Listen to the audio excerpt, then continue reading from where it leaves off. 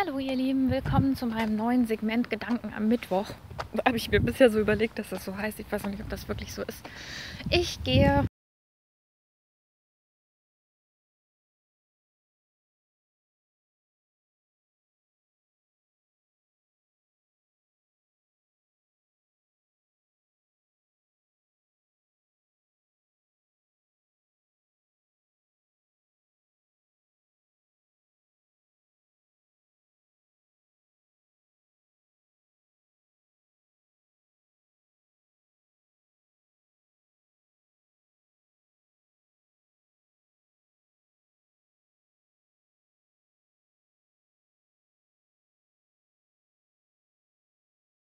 dass,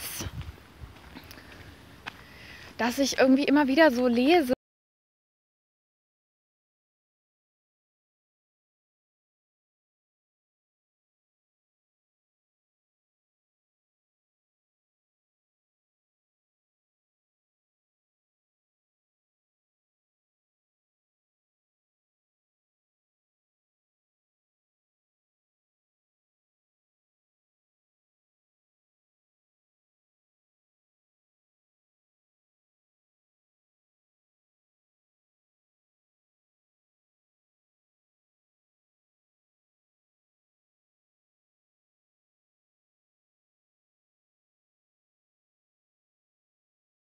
irgendwie gut ist für Menschen.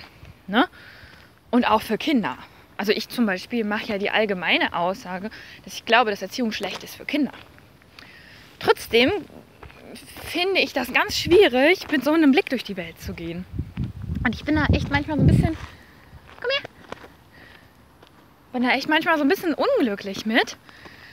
Ähm, wenn ich dann erlebe, dass dann Leute ähm, na, ich sag jetzt, dass dann Leute, das ist auch nicht richtig. Mach das auch. Ich erlebe ja auch Eltern, die ganz anders leben als ich, das für richtig halte, als ich das zumindest momentan für mich und meine Familie entschieden habe. Was weiß ich. ähm, und die das irgendwie ganz anders machen, wo ich so denke, nee, ich glaube, das ist nicht richtig. Und ich, es ist natürlich wichtig, so funktioniert ja unser Gehirn, dass wir unsere Wirklichkeit einteilen in die Dinge, die wir richtig finden und die Dinge, die wir falsch finden. Das ist ja auch, das ist ja auch wichtig. So funktioniert unser moralischer Kompass, funktioniert unsere Welt.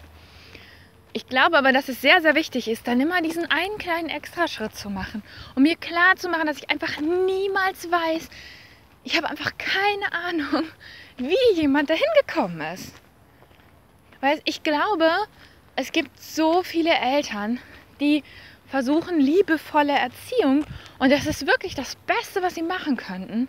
Und ich würde mir niemals anmaßen zu sagen, äh, alle müssen Erziehung überwinden wollen. Ich glaube, das Beste, was wir tun können, ist uns immer wieder zu hinterfragen und zu sagen, okay, ist das jetzt das, was ich, was ich kann, das, was für uns das Beste ist und halt die Verantwortung dafür zu übernehmen. Ja, wenn ich, wenn ich das nicht packe, äh, wenn ich irgendwie denke, äh, Schule ist schlecht für Kinder, ich glaube, diese generelle Aussage kann man schon machen.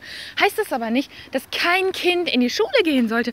Weil es gibt ja tausend Umstände, die dann daraus Schule die Least Worst Option machen. Also die, die, na, das, das heißt ja nicht, dass es, dass es nicht total viele Situationen gibt, in denen Schule eine super Wahl, weil andere Sachen eben auch noch mit reinspielen.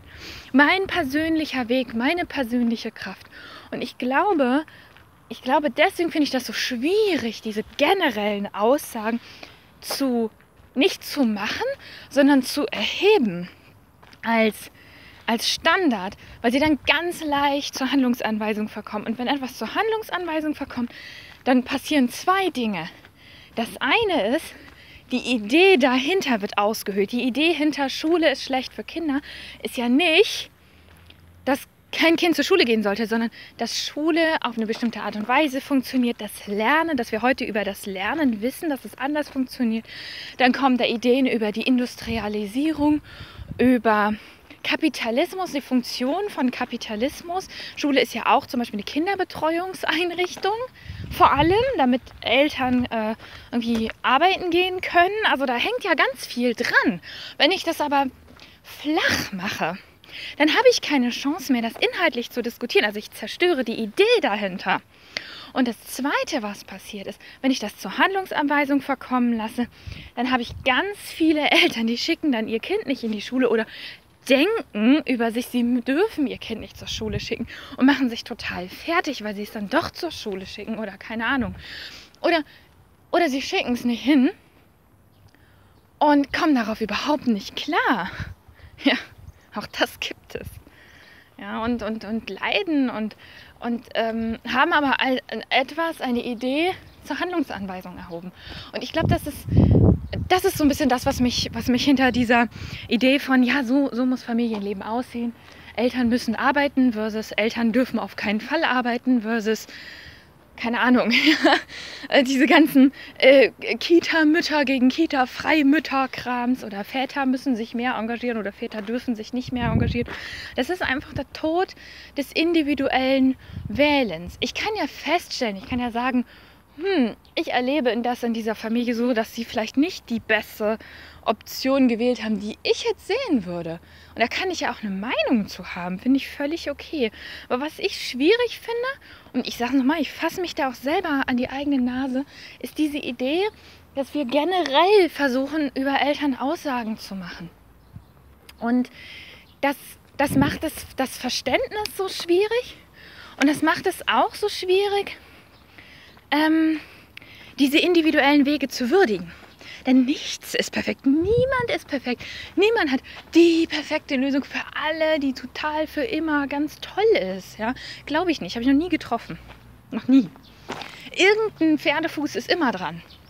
Ja, wenn du dich entschließt, dass du irgendwie in einer schicken Stadt leben willst, äh, in, der du, in der du gerne bist, in der deine ganzen Freunde sind, aber in der die Mieten total hoch sind, musst du halt irgendwie arbeiten. Relativ viel arbeiten. Selbst wenn du es schaffst, irgendwie, weiß ich nicht, online und irgendwie nebenbei, irgendwas musst du halt machen, äh, damit du diese Mieten bezahlen kannst. Wenn du dich entschließt, nicht arbeiten zu wollen, musst du mit weniger Geld klarkommen. Das kann man schon ganz generell so sagen.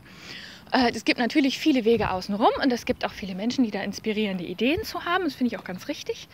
Und trotzdem sind das einfach reale Konsequenzen. Und deswegen glaube ich, können und sollten wir aufhören, generelle Aussagen über Menschen zu generellen Handlungsanweisungen zu erheben. Das ist gerade so mein, das beschäftigt mich heute.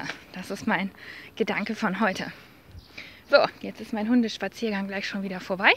Ich wünsche euch noch einen wunderbaren Tag und bis dahin.